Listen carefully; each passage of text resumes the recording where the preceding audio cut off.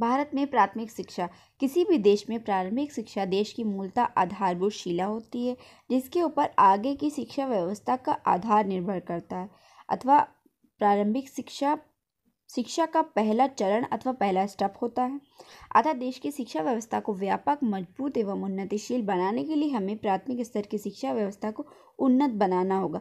कि प्राथमिक शिक्षा किसी भी देश की शिक्षा व्यवस्था का आधार होती है, अतः देश की शिक्षा व्यवस्था को व्यापक उन्नतशील और मज़बूत बनाने के लिए प्रारंभिक स्तर की शिक्षा का विकास करना, उसको उन्नत बढ़ाना होगा। के जी सैयदैन ने अपनी पुस्तक problems of education, restriction in India में कहा कि प्राथमिक शिक्षा के व्यापक आधार व नियोजित व्यवस्था के अभाव में हम अपनी आर्थिक, सांस्कृतिक तथा सामाजिक कार्यक्षमता में वृद्धि करने तथा अपने स्तर को ऊँचा उठाने की तथा जनता को विवेकपूर्ण शिक्षा देने की आशा नहीं कर सकते। स्वतंत्रता से पूर्व प्राथमिक शिक्षा। चार्ल्स वुड घोषणा पत्र चार्ल्स वुड ने अठारह सौ चौवन ईस्वी में प्राथमिक शिक्षा से संबंधित एक घोषणा पत्र जारी किया, जिसमें कंपनी ने अपनी प्राथमिक शिक्षा का दायित्व ग्रहण किया। इस घोषणा पत्र में प्राथमिक शिक्षा के लिए निम्न सुझाव दिए गए, जैसे सरकार हल्का बंदी व्यवस्था के अनुसार विद्यालय स्थापित करे पहले से चल रहे विद्यालयों की सरकारी सहायता प्रदान की जाए तथा उनमें सुधार किया जाए, निजी संस्थानों को धन उपलब्ध कराकर प्रोत्साहित किया जाए। इस घोषणा पत्र के नियम इतने कठोर थे कि उन पर अमल नहीं हो सका। लॉर्ड स्टेनली घोषणा पत्र इस घोषणा पत्र में प्राथमिक शिक्षा से संबंधित निम्न सिफारिशें की गई। सरकार प्राथमिक शिक्षा का दायित्व ग्रहण करे, प्राथमिक शिक्षा को उत्तरदायित्व, स्थानीय संस्थाओं को प्रदान किए जाए, सहायक अनुदान व्यवस्था को उच्च शिक्षा क्षेत्र तक सीमित रखा जाए, शिक्षा प्रसार के लिए कर व्यवस्था लागू की जाए। हंटर आयोग। हंटर आयोग ने प्राथमिक शिक्षा में सुधार लाने के लिए निम्न सिफारिशें की हैं। पाठ्यक्रम में व्यवहारिक विषयों को शामिल किया जाए। प्राथमिक शिक्षा के प्रचार प्रसार के लिए प्रांतीय सरकार को आर्थिक सहायता मुहैया कराई जाए। जनसाधारण में प्राथमिक शिक्षा का प्रसार किया जाए। प्राथमिक शिक्षा का स्थानीय भाषा में प्रदान की जाए। प्राथमिक शिक्षा के लिए विद्यालय निरीक्षक क्षेत्र में एक शुल्क स्थापना की जाए। लॉर्ड कर्जन का शिक्षा से संबंधित प्रस्ताव प्राथमिक शिक्षा बच्चों को उनकी मातृभाषा में प्रदान की जाए, प्राथमिक स्तर पर अध्यापकों को प्रशिक्षण प्रदान किया जाए, स्थानीय स्तरों के स्कूलों व निजी क्षेत्र के स्कूलों को सहायता राशि प्रदान की जाए। गोपाल कृष्ण गोखले ने वर्ष 1910 में सरकार से प्राथमिक शिक्षा के बारे में सिफारिश की।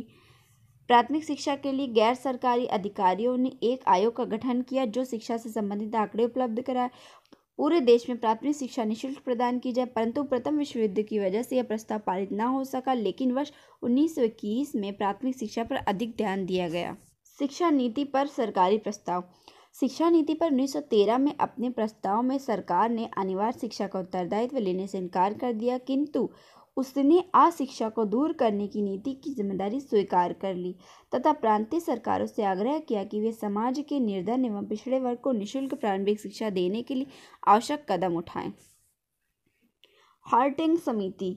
इस समिति ने भी प्राथमिक शिक्षा की महत्ता पर बल दिया, लेकिन अनिवार्यता या शीघ्रता प्रसार को अनुचित बताया। मूल शिक्षा की वर्धा योजना। इस योजना को मूल शिक्षा की वर्धा योजना के नाम से जाना जाता है। इस योजना के निम्नलिखित प्रावधान थे। पहला, राष्ट्रीय शिक्षा व्यवस्था के प्रथम सात वर्ष निःशुल्क एवं अनिवार्य होने चाहिए तथा यह शिक्षा मातृभाषा में दी जाए। दूसरा, कक्षा दो से कक्षा सात तक की शिक्षा का माध्यम हिंदी होना चाहिए। जन सर्जेंट को भारतीय शिक्षा में सुधार लाने के लिए एक प्रस्ताव तैयार करने के लिए नियुक्त किया गया। वर्ष 1945 में इन्होंने अपना प्रस्ताव केंद्रीय शिक्षा सलाहकार परिषद के सामने प्रस्तुत किया, जिसमें प्राथमिक स्तर की शिक्षा से संबंधित निम्न सिफारिशें प्रस्तुत की। पहला छः से चौदह वर्ष तक के बालक बालिकाओं को निःशुल्क अनिवार्य शिक्षा प्रदान की जाए। जूनियर बेसिक छः से ग्यारह वर्ष के बच्चों के लिए सीनियर बेसिक ग्यारह से चौदह वर्ष तक के बच्चों के लिए होगी। प्राथमिक शिक्षा मातृभाषा में प्रदान की जाए। प्राथमिक शिक्षा के लिए प्रशिक्षित अध्यापकों को नियुक्त की जाए। निरीक्षण के लिए अधिकारियों को नियुक्त किया जाए। बुनियादी शिक्षा को कनिष्ठ कक्षाओं का माध्यम बनाया जाए। उच्च माध्यमिक शिक्षा जो 11 से 17 वर्ष के बीच की आयु में चुने गए बच्चों के लिए होगी, उस तथा जिसकी अवधि छः वर्ष की होगी। स्वतंत्रता के बाद भारत में प्राथमिक शिक्षा। स्वतंत्रता प्राप्ति के बाद अधिकांश राज्य सरकारों ने सर्जौट योजना के अनुसार अपनी शिक्षा व्यवस्था में परिवर्तन किया, क्योंकि सर्जौट योजना ने बुनियादी शिक्षा की बहुत सी विशेषताओं को अपना लिया था और इसके साथ परंपरागत और बुनियादी शिक्षा दोनों के ढांचे को स्वीकार कर लिया गया। अतः बहुत से राज्य ने परंपरागत प्राथमिक विद्यालय खोले, जिसमें अनिवार्य रूप से बुनियादी विद्यालयों को ग्रामीण क्षेत्रों में खोला गया। स्वतंत्रता के बाद संविधान निर्माताओं ने शिक्षा पर ध्यान केंद्रित कर उसे संविधान में स्थान प्रदान कर राज्यों को शिक्षा के लिए उत्तरदायित्व बनाया, जिसमें संविधान राज्य में यह अपेक्षा करता कि राज्य शिक्षा प्रदान करने के लिए आवश्यक व उचित कदम उठाएगा। अतः हम यह कह सकते हैं कि स्वतंत्रता के उपरांत भारत में प्राथमिक शिक्षा के संबंध में बहुत सारे कदम उठाए गए तथा उसे संविधान में एक स्थान प्रदान किया गया। भारतीय संविधान में शिक्षा में प्रारंभ से शिक्षा को राज्य का दायित्व माना गया था तथा केंद्रीय सरकार और राज्य सरकार के मध्य उत्तरदायित्व के विभाजन में संविधान को स्वीकार करते समय राज्य सरकार को यह उत्तरदायित्व सौंपा गया था कि शिक्षा को राज्य सूची का विषय बनाया गया। तो बयालीसवें संविधान संशोधन उन्नीस से शिक्षा को राज्य सूची से निकालकर संवर्ती सूची में शामिल कर दिया गया, जिसमें शिक्षा को प्रदान करने का दायित्व संघ व राज्य दोनों का हो गया है। संविधान में शिक्षा से संबंधित अनुच्छेद अनुच्छेद इक्कीस ए, प्राथमिक शिक्षा का अधिकार, अनुच्छेद अट्ठाईस, कुछ शैक्षिक संस्थानों में धार्मिक शिक्षा का धार्मिक उपासना में शामिल होने की स्वतंत्रता, अनुच्छेद इकतालीस, कुछ दशाओं में काम शिक्षा और लोक सहायता पाने का अधिकार, अनुच्छेद पैंतालीस छः वर्ष से कम आयु के बच्चों की शिक्षा एवं शुरुआती बचपन की देखभाल हेतु प्रावधान, अनुच्छेद छियालीस, अनुसूचित जाति और जनजाति और अन्य कमज़ोर वर्गों के लिए शैक्षिक और आर्थिक हितों का संवर्धन, अनुच्छेद इक्यावन। माता पिता का कर्तव्य होगा कि छः से चौदह वर्ष तक के बच्चों को अच्छी शिक्षा दिलाने का प्रबंध करें। अनुच्छेद तीन सौ पचास प्राथमिक स्तर पर मातृभाषा में शिक्षा की सुविधाएँ। भारत में प्राथमिक शिक्षा का सार्वभौमिकरण। वर्तमान भारतीय समाज में सभी नागरिक शिक्षा प्राप्त नागरिक होंगे। इसके लिए केंद्र व राज्य सरकार ने काफ़ी प्रयास भी किए। वर्तमान समय में भारत की प्राथमिक शिक्षा प्रणाली विश्व में सबसे बड़ी प्रारंभिक स्तर की शिक्षा प्रणाली है। पर, परंतु स्कूल न जाने वाले बच्चों का 22 प्रतिशत हमारे देश में है जबकि विश्व के कुल प्रौढ़ साक्षरों का 30 परसेंट भाग भारत में है। अतः देश में शिक्षा के स्तर को सुधारने के लिए सरकार द्वारा सभी के लिए शिक्षा लक्ष्य रखा गया, जिसके अंतर्गत 6 से 14 वर्ष के बालक तथा 15 से 35 वर्ष के प्रौढ़ को शामिल किया गया है। अतः प्राथमिक शिक्षा का लक्ष्य 6 से 14 वर्ष के बालकों को शिक्षित करना है। साढ़े साठ परसेंट बालिकाएँ होंगी तथा 15 से 35 वर्ष आयु वर्ग के प्रौढ़ों को साक्षर करना, जिसमें महिलाएँ भी होंगी। सार्वभौमिक शिक्षा के उद्देश्य, पंद्रह से पैंतीस वर्ष की आयु की निरक्षरता कम करना, निरक्षरता में कमी लाना, चौदह वर्ष की आयु तक के सभी बच्चों को प्रारंभिक शिक्षा प्रदान करना, अनौपचारिक व औपचारिक शिक्षा कार्यक्रमों के माध्यम से प्रारंभिक शिक्षा का स्तर पूरा होने तक उनकी सर्वव्यापकता, भागीदारी निश्चित करना, शिक्षा को बनाए रखने के अवसर उपलब्ध कराना आधारिक संरचना का विकास करना जो स्त्रियों को अधिकार प्रदान कर सके और शिक्षा को स्त्रियों की समानता का साधन बनाना, शिक्षा के पाठ्यक्रम को उन्नत बनाना। प्रारंभिक शिक्षा के सार्वभौमिकरण के लिए संवैधानिक कानूनी और राष्ट्रीय घोषणा देश 1950 संविधान के प्रारंभ से 10 साल के भीतर राज्य 6 से 14 साल के बच्चों को अनिवार्य तथा मुक्त शिक्षा प्रदान कराएगा। राष्ट्रीय शिक्षा नीति उन्नीस यह निश्चित किया गया कि इक्कीसवीं सदी में प्रवेश करने से पहले 14 साल तक के सभी बच्चों को संतोषजनक गुणवत्ता में मुफ़्त व अनिवार्य शिक्षा प्रदान की जाएगी। उन्नी कृष्ण प्रस्ताव उन्नीस सौ तिरानवे इस देश में 14 वर्ष तक के प्रत्येक शिशु के पास मुफ़्त शिक्षा प्राप्त कराने का अधिकार होना चाहिए। प्राथमिक शिक्षा के लक्ष्य वर्ष 2003 तक शिक्षा गारंटी केंद्र वैकल्पिक स्कूल में सभी बच्चों को स्कूल में होना, वर्ष 2007 तक सभी बच्चों द्वारा पाँच साल की प्रारंभिक स्कूली शिक्षा पूरी करना, वर्ष 2010 तक सभी बच्चों की आठ साल की स्कूली शिक्षा पूरी करना, जीवन के लिए शिक्षा पर बल देते हुए संतोषजनक प्रारंभिक शिक्षा पर ज़ोर देना। वर्ष 2005 तक प्रारंभिक स्तर पर और वर्ष 2010 तक प्रारंभिक शिक्षा स्तर पर सभी लैंगिक और सामाजिक अंतराल को समाप्त करना। शिक्षा का अधिकार। वर्ष 2002 में संविधान में किए गए छियालीसवें संशोधन के द्वारा अनुच्छेद 21 को शामिल किया गया। इस अधिनियम के माध्यम से 6 से 14 वर्ष की आयु के सभी बच्चों को मुफ़्त और अनिवार्य शिक्षा प्रदान की जाने का मौलिक आधार बनाया गया। इस अधिनियम में व्यवस्था है कि प्रत्येक बच्चों को पूर्णकालिक संतोषजनक एवं स्तरीय प्राथमिक शिक्षा प्राप्त करने का अधिकार है। यह शिक्षा उन्हें औपचारिक विद्यालयों में दी जानी होगी, जो आवश्यक नियमों और मानदंडों के अनुरूप स्थापित किए गए हों। इस अधिनियम में सर्व शिक्षा अभियान शेष व्यवस्था है।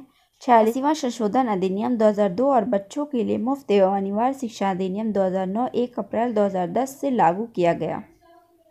प्रारंभिक शिक्षा के सार्वभौमिकरण के संदर्भ में नीति, वर्ष उन्नीस सौ छियासी की राष्ट्रीय शिक्षा नीति में एक लक्ष्य जोड़ा गया, जो अधिगम के आवश्यक स्तर तक बच्चों को पहुंचाना था।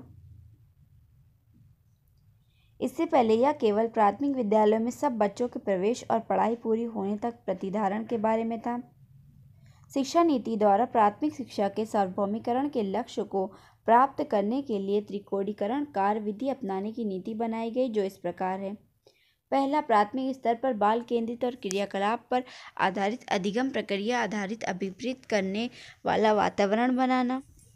तथा पिछले आयोगों द्वारा प्रस्तावित बच्चों को अनुत्तीर्ण न करने की नीति को जारी रखा जाए और विद्यालयों में समय तथा अवकाशों को बच्चों की सुविधा के अनुसार समांजित किया जाए।